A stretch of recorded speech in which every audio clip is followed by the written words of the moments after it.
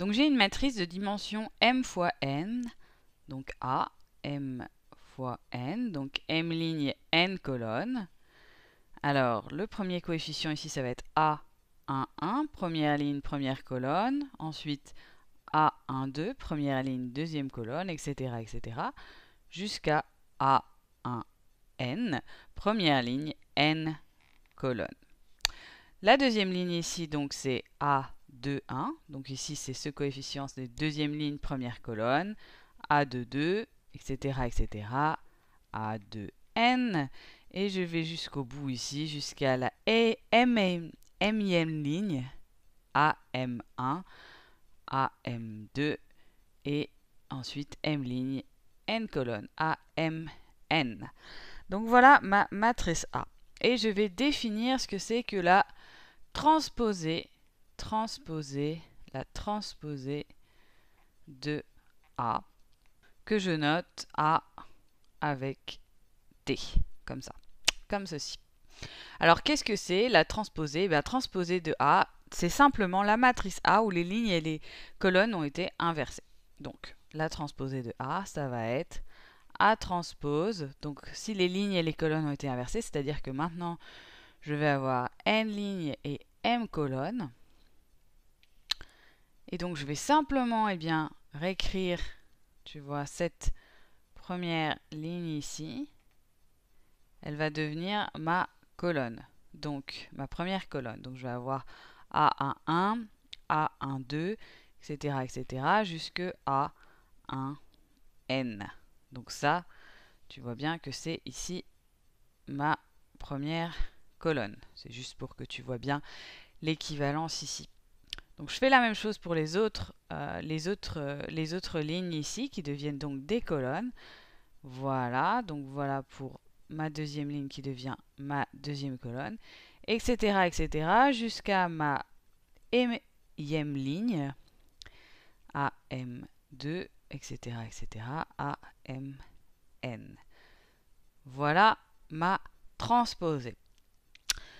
Par contre, ça pourrait paraître un petit peu contre-intuitif ici parce que, eh bien, euh, on a dit depuis le début que quand on a un coefficient A, I, J, I représente donc la ligne et J représente la colonne. Et ici, dans ce que tu vois là pour la, transposée de ma matrice, j'ai utilisé les coefficients évidemment de ma matrice A ici, mais là, les indices ne représentent plus les numéros de ligne et les numéros de colonne. Donc il faut juste faire un petit peu abstraction à ça. J'ai gardé par contre cette notation juste pour bien te montrer que ce coefficient-là A première ligne, deuxième colonne, c'est le même que ici, ce coefficient-là qui serait en fait deuxième ligne, première colonne. Donc il faudrait les lire, euh, les indices en inverse. Mais tu vas voir que en fait, quand on va faire des exemples, c'est très très simple de faire la transposée. Donc on va faire un premier exemple en dimension 2. Donc on va prendre une matrice B une matrice B qui est égale à 1, 2, ah, je vais changer de couleur, 3, 4. Voilà. Donc ça, c'est ma matrice B. Alors, que va être la transposée de B? Alors, la transposée de B, eh bien, ça va être une matrice de 2 aussi, puisque la matrice ici est carrée. Et donc, je vais écrire la, première ligne ici comme étant ma première colonne. Donc, ça va être 1, 2. Et ma deuxième ligne ici, eh bien, ça va être ici ma deuxième colonne. 3, 4. Voilà, tout simplement. Bon, on va faire un petit exemple un peu plus compliqué. Ensemble, on va regarder une, matrice, une matrice, on va dire 4, euh, 3. Donc 4 lignes et 3 colonnes. Donc, je vais faire ça comme ça et je vais, euh, je vais mettre des couleurs un petit peu pour qu'on y voit un peu plus clair. Alors, donc on va prendre 1, 0, moins 1, 2, 7, moins 5. Ensuite, je vais changer de couleur. 4, euh, moins 3, 2. Et ensuite, on va prendre moins 1, 3, 0. Alors, qu'est-ce que ça va être la transposée de C? Alors, la transposée de C, où je ne vais pas avoir beaucoup de place, ça va être tout simplement une matrice 4 lignes 3. Ça va être tout simplement une matrice 3 lignes et 4 colonnes. C'est pour ça que je dis que je ne vais pas avoir beaucoup de place ici.